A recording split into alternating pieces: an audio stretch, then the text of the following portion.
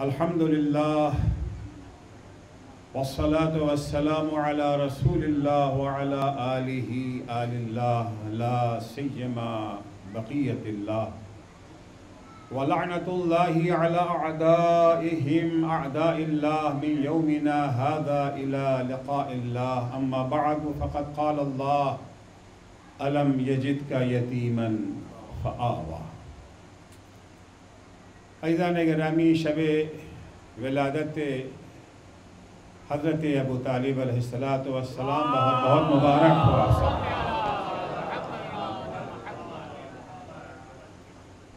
जनाब अबू तालिब की वो शख्सियत और वो हस्ती है कि शिया हों या सुन्नी, दोनों उनकी अजमत के कायल हैं। अजमत अबू तालिब का कोई मुनकर नहीं है। सब इस बात के कायल हैं कि जनाब अबू तालिब ने जिस तरीके से पैगंबर इस्लाम की खिदमत की है, जिस तरीके से इस्लाम की नुसरत की है, जिस तरह से इस्लाम की हमायत की है, इसमें कोई अख्तलाफ नहीं है। सब मानते हैं। शिया तो खैर मानते ही हैं, लेकिन हमारे बरदरान अल सुन्नत भी इस चीज़ के कायल हैं। ये और बात है कि सब कुछ मानने के बाद कहते हैं, जनाब अबू तालिब जहन्नम में जाएँगे। सब कुछ मानने के बाद अजमत से इनकार नहीं है। देखिए, इस्लाम लाने वाले जो है मुसलमानों की तादाद माशाल्लाह अरबों में है। बहुत बड़ी आबादी हमारी है। तो मुसलमान तो मिलेंगे, मगर अमल नहीं मिलता।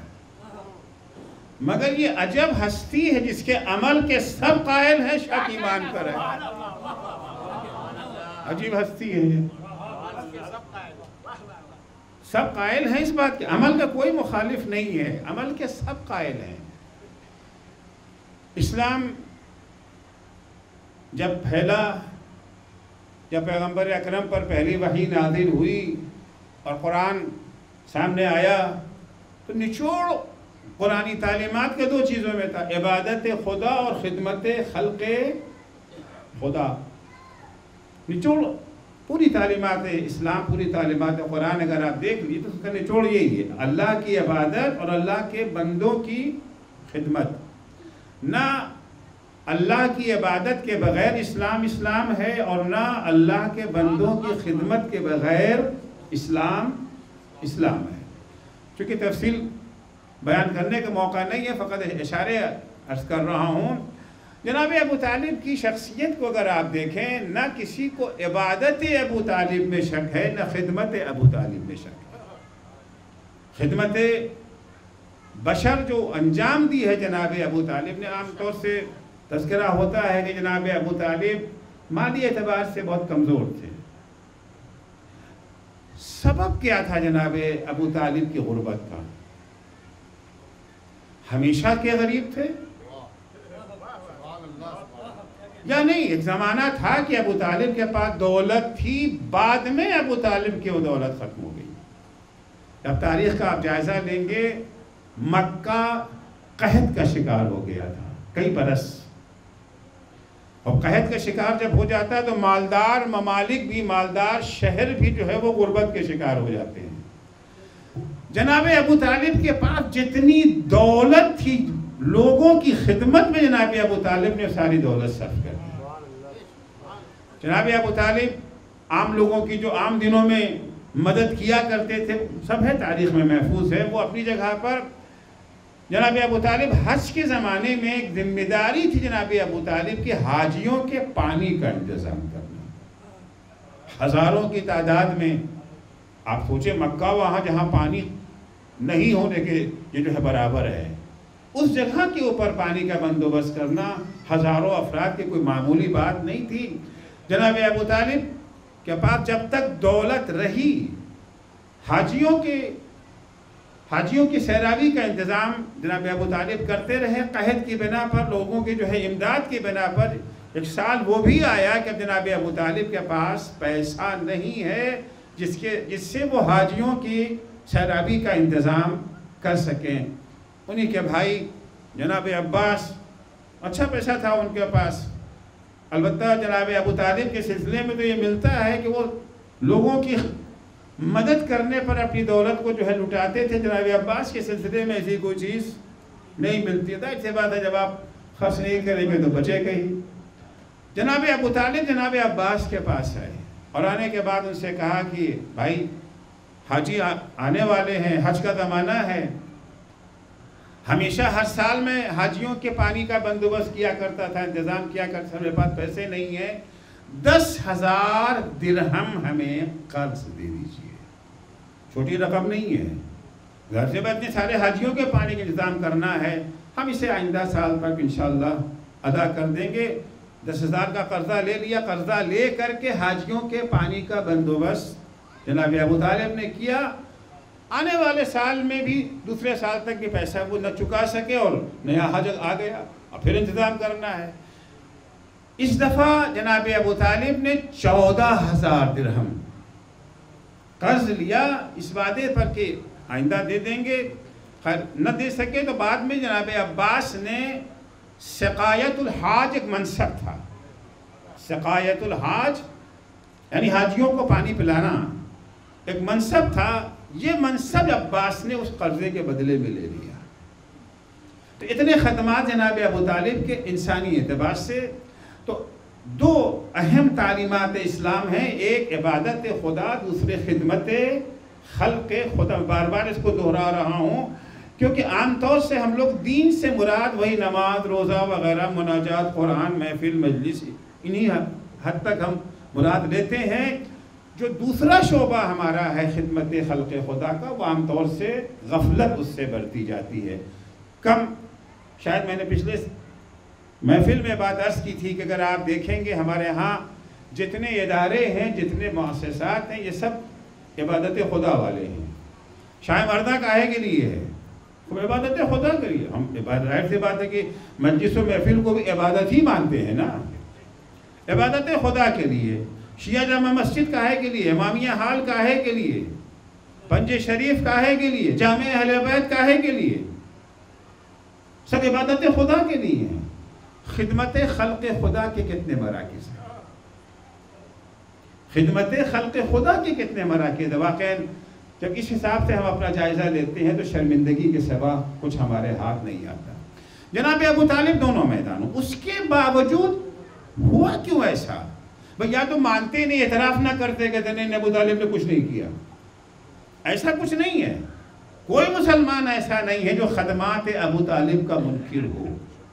खदमात अबू तालिब का एतराफ़ करने के बाद ये नज़रिया, कुफर का नज़रिया उनके, ईमान के बारे में शक। वजह यह है कि मुसलमानों की एक मजबूरी है।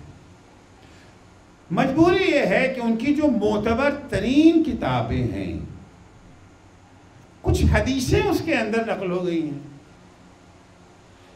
मानते तो हैं कि जनाब अबू तालिब ने पैगंबर की खिदमत किया और उनके अशार के भी कायल हैं। वो सारे उनके अशार जिससे सरासर यही साबित होता है कि वो खुदा को एक भी मानते थे, पैगंबर की नबूत के भी कायल, वो सब मान रहे हैं। अशार को भी मान रहे हैं, खदमात को भी मान रहे हैं। बयानात अबू तालिब जो हम हम लोग पेश करते हैं, वो भी मानते हैं उसे। फिर सब कुछ मानने के बाद ये बात कहाँ से आ गई? फिर ये कुफर अबू तालिब कहाँ से निकल कर के आ गया? तर्ज किया कि कुछ हदीसें उनके यहाँ हैं जिसको वो आमतौर से पेश करते इन इन हदीसों के बिना पर हम ये कह रहे हैं। यहाँ हज़रत ने फरमाया है कि अलायाबिल्ला वो जहन्नम में हैं या अलायाबिल्ला वो ईमान नहीं लाए थे। मैं उन हदीसों का आपकी खिदमत में फ़कत मुख्तसर लफ्ज़ों में जायज़ा ले, लेना चाहता हूँ ताकि कल जब हमारा उनसे कोई सिलसिले में झगड़ा करने की ज़रूरत नहीं है, लड़ाई नहीं करना है। लेकिन बहरहाल, बात तो कहना है ना अपनी। हकायक तो बयान करना है ना। मुख्तलि शोरा ने भी अपने अशार में बयान किया कि तारीख सुनाते रहिए। तारीख सुनाते रहिए सिर्फ़ तारीख नहीं सुनाना है, वो जो उनका, जिसकी बिना पर वो गुमराही का शिकार हो गया जनाब अबू तालिब के बारे में अजमत का एतराफ़ करने के बावजूद, खुद हदीसों में जो, जिन हदीसों की बुनियाद पर गुमराह हुए हैं, उन हदीसों में भी अजमत अबू तालिब का तस्करा है। पहली रवायत वो है जो सही है, बुखारी में। तीन हदीसें से मैं यहाँ पर नकल करूँगा। पहली हदीस जो है वो सही है, बुखारी की हदीस है। हदीस में है कि जनाब अब्बास इब्ने अब्दुल मुत्तलिब, जनाब अबू तालिब के भाई अब्बास इब्ने अब्दुल मुत्तलिब ने रसूल खुदा सल्लल्लाहु अलैहि वसल्लम से कहा कि आपकी जात से आपके चचा अबू तालिब को कोई फ़ायदा नहीं पहुँचा। आपकी जात से आपके चचा अबू तालिब को कोई फ़ायदा नहीं पहुँचा। हालाँकि उन्होंने आपकी खिदमत बहुत की है। हालाँकि उन्होंने आपका दफ़ा भी किया है और आपकी खातिर दूसरों से लड़े भी हैं। इसी हदीस में है। ये इतराफ है, इसका इनकार नहीं है। आपसे लड़े भी हैं, फिर भी आपसे उन्हें कोई फ़ायदा नहीं पहुँचा। तो हुजूर ने फरमाया, नहीं नहीं ऐसा नहीं कि उन्हें फ़ायदा नहीं पहुँचा। मैं एन लफ्ज़ यहाँ नकल कर रहा हूँ। ने फरमाया, हुआ फ़ी नार वो जहन्नम में गढ़े में है। जहन्नम में कहा है गढ़े में है। वो लौला आना। और अगर मैं ना होता, लकाना फिदर किल असफले मिनन्नार तो जहन्नम के सबसे निचले तबके में होते मेरी वजह से ये उनको छूट मिल गई। मेरी वजह से ये उनको फ़ायदा पहुँचा कि उनको वहाँ से निकाल करके छोटे से ये जो है वो गढ़े में उनको जो है वो डाल दिया गया। दूसरी रवायत, ये रवायत थी नाबी अब्बास इतने अब्दुल मुतलिब से। ये रवायत भी जो है सही है, बुखारी ही की रवायत है, रवायत नाब के नाकिल है अबू सईद खुदरी। अबू सईद खुदरी कहते हैं कि एक दिन रसूल खुदा के हुजूर में आपके चचा अबू तालिब का तस्करा हुआ। तो आपने फरमाया लल्लहु तनफ़हु शफाअती यौमल क़ियामा। उम्मीद है, हो सकता है शायद हमारी शफात क़यामत के दिन अबू तालिब के काम आ जाए। फयुज आलो फ़ी जहजाहिमिनार हमारी शफात की बिना पर जन्नत में तो नहीं जाएँगे। लेकिन वो दर के असफल से निकाल करके गढ़े में, छोटे से गढ़े में डाल दिए जाएँगे, मगर जहन्नम की आ गए ना। उसका असर ये होगा, यब लोगों का अबय कि जहन्नम की आग जो है वो उनकी पिंडनी तक पहुंचेगी। अगर वहाँ नीचे वाले में होते तो जो है वो, ये जो है सर तक पहुँच जाती। पिंडनी तक वो आग पहुंचेगी, यगली मिन हो दिमाग हो कि उस आग की बिना पर मग जो है वो खोलने लगेगा। तीसरी रवायत ये जो है, वो सही है। मुस्लिम ने नकल की। अब्दुल्ला इब्ने हारिस की जबानी रवायत नकल करते हैं कि अब्दुल्ला इब्ने हारिस कहते हैं कि मैंने अब्बास इब्ने अब्दुल मुत्तलिब से ये कहते हुए सुना कि मैंने रसूल खुदा से कहा कि अबू तालिब आपका दफ़ा करते थे, आपकी मदद फरमाते थे। क्या उन्हें इसका कोई फ़ायदा पहुंचेगा? इस मदद का कोई फ़ायदा मिलेगा उन्हें? तो हुजूर ने फरमाया ना हाँ फ़ायदा मिलेगा। क्या फ़ायदा मिलेगा? फ़ायदा ये कि वजह तो फ़ी हमने अबू तालिब को जहन्नम के सख्तरीन हिस्से में देखा। फ़ाखरज तो तो हमने उनको वहाँ से निकाल के गड्ढे में जाकर रखा ये तीन रवायतें इख्तसार के साथ मैंने नकल कर दी। अब सवाल ये कि, कि अब वो बेचारे परेशान हो जाते हैं कि ना हुजूर ने फरमाया है तो हम क्या करें? ठीक है मानते हैं कि उनके अशार भी है जिससे पता चलता है कि नहीं वो मोमिन थे। खदमात भी हैं हिमायत रसूल भी है दफायर सारी चीज़ें अपनी जगह पर सब मान रहे हैं। मगर इन हदीसों का क्या करें? अब मुश्किल ये है कि चूँकि उन्होंने मान लिया है कि अब सही बुखारी बादस कलाम बारी वहाँ तो कुछ कहा ही नहीं जा सकता। लेकिन अगर बादस कलाम बारी है ना सही बुखारी? बादस कलाम बारी है ना?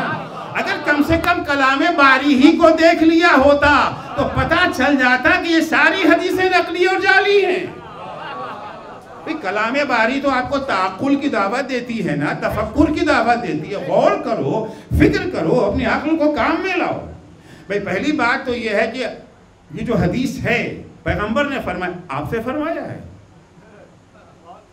पैगंबर ने आपसे फरमाया, या इमाम बुखारी से फरमाया है? इमाम वो तो सैकड़ों साल के बाद आए हैं। पैगंबर के ज़माने में तो नहीं ना थे। चलो मान लें कि इमाम बुखारी बड़े मोतबर इंसान थे। सच्चे थे सादिक सब मान लेते हैं, फ़र्ज़। सब फ़र्ज़ कर लेते हैं। लेकिन पैगंबर ने उनसे तो नहीं ना कहा था। उन्होंने किसी और से सुना है। उस सुनने वाले ने भी किसी और से सुना है।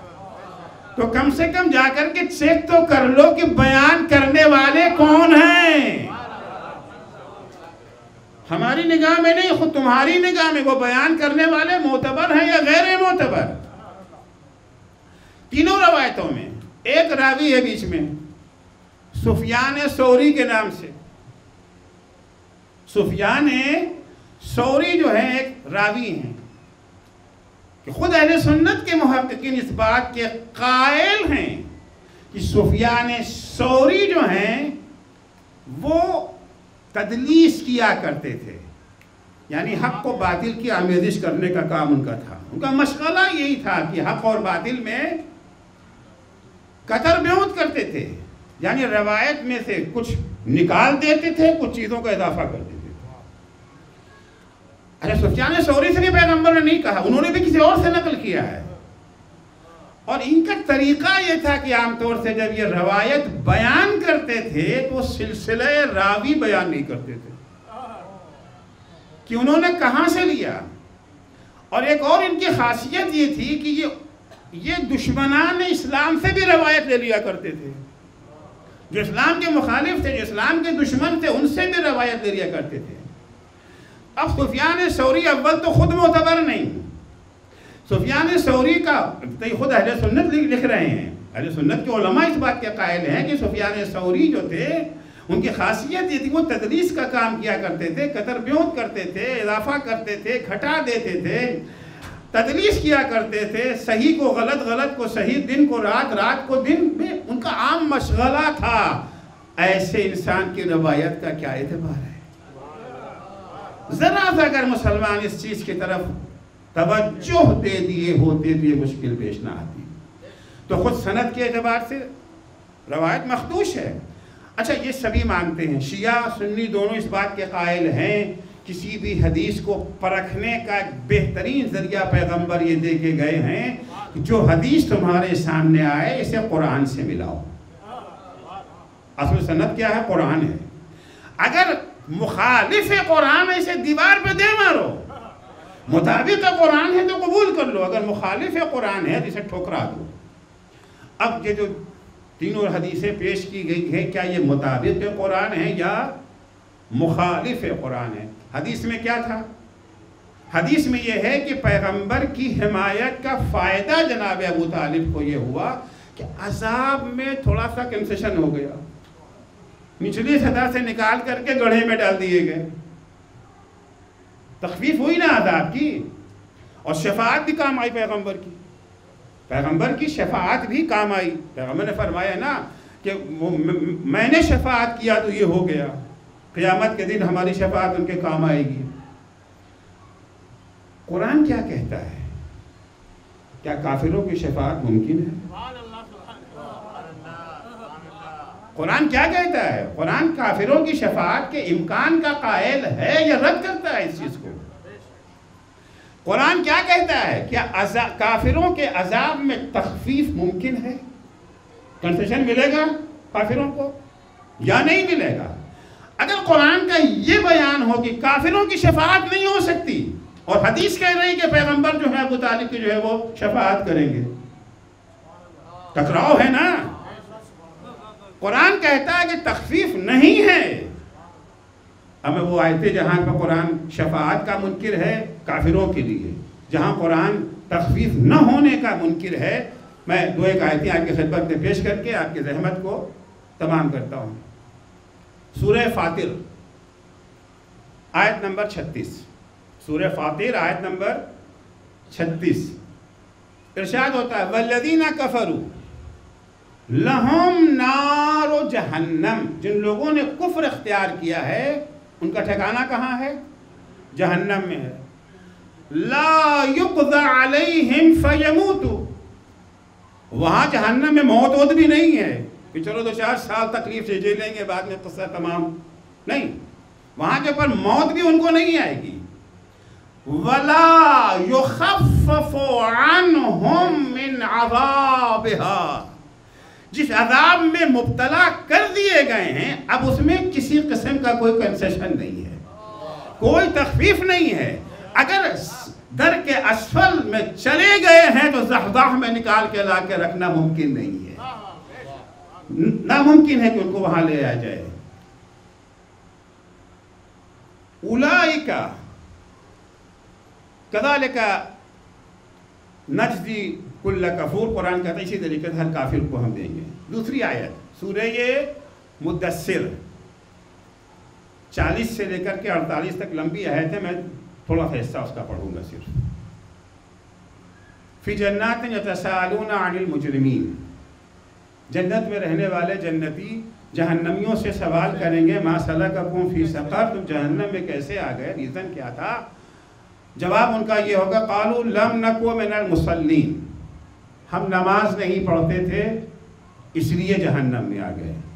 वलम नको नुतमुल मिस्कीन। गरीबों को खाना नहीं खिलाते थे, खुद खाना खा के सो रहते थे, किसी ने खाया, नहीं खाया, हमसे क्या मतलब? दूसरा रीज़न जहन्नम में जाने का ये जो मैंने अर्ज़ किया कि इबादत खुदा और खिदमत खल खुदा, यहाँ से मैंने इसको अर्ज़ किया था।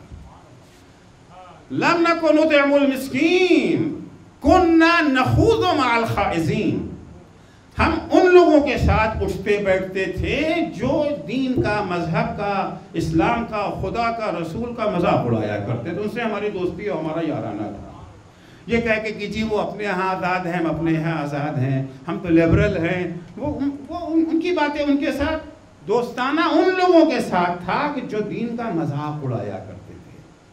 कुरान मना करता है उन लोगों के साथ उठने बैठने से जो दीन न मानना दीन का और है, दीन का मज़ाक उड़ाना और है। नहीं मानते हैं, मुसलमान नहीं, कोई तो ठीक है, अख्तियार है, उनको कोई जबर नहीं कि मुसलमान हो जाए। लेकिन उन्हें इस बात का हक नहीं है कि वो हमारे दीन का, हमारे मुकदसात का मज़ाक उड़ाएँ। अगर वो मज़ाक उड़ाते हैं तो हमारी ज़िम्मेदारी है कि हम उन्हें मुँह तोड़ जवाब दें। वकुन्ना नुकद्दिबु बियौम दीनों चौथा यह था कि हम क़यामत का जो इनकार करते थे। क्यामत तो मत कुछ नहीं हत्या आदान अल यकीन, यहाँ तक कि मौत आ गई। फमा शफाअत शाफिईन। ये वो अफराद हैं जिन्हें शफात करने वालों की शफात काम नहीं आएगी। याद रखें। तो साफ़ साफ़ कुरान कह रहा है ना कि शफात इनकी नहीं होगी, और हदीस क्या कह रही है? हदीस कह रही है कि शफात की पैगंबर ने या करेंगे पैगंबर, दर के अशफत कुरान कह रहा है कि तखफीफ नहीं है कंसेशन नहीं है वहाँ के ऊपर। मगर हदीस कह रही है कि पैगंबर इस्लाम की खिदमत की बिना पर कंसेशन मिल जाएगा कि तबक़े असफल से निकाल के लाके गढ़े में डाल दिए जाएँगे। अगर मुसलमानों ने ज़रा सा कुरान को भी देख लिया होता, दावा तो कर दिया था हसबुना किताबुल्लाह। दावा तो कर दिया, अजीब है। जहाँ फ़ायदे में है, हदीस का इनकार करना, वहाँ हदीस का इनकार कर देते हैं। जहाँ फ़ायदे में है, कुरान से दस्तबरदार हो जाना, वहाँ कुरान से दस्तबरदार हो जाते हैं। खुदा बंद मताल से दुआ है कि अल्लाह हम सबको तोफ़ी इनायत फरमाए। हकायक जैसे हैं, वैसे ही समझने के लिए। कभी भी हकायक को समझने में तासुब से काम न लें। कभी भी हकायक को समझने के लिए अपने पहले से तयशुदा नज़रियात को ठूसने की कोशिश न करें। कभी भी हकायक को समझने के लिए आबा अजदाद की तकलीद के रास्ते पर न जाए। हकायक के मुकाबले में आबा अजदाद की तकलीद कोई माना नहीं रखती है। अल्लाह जल्ला शानों से दुआ है कि अल्लाह हमें अक्ल इस्तेमाल करने की तोफ़ी इनायत फरमाए। अल्लाह हमें हकायक को समझ करके उस पर अमल करने की तोफ़ी इनायत फरमाए। परवरदगार से दुआ है कि बार हम सबको अपनी इबादत और अपने बंदों की खिदमत की तोफ़ी इनायत फरमाए। असल वरहमल वर्का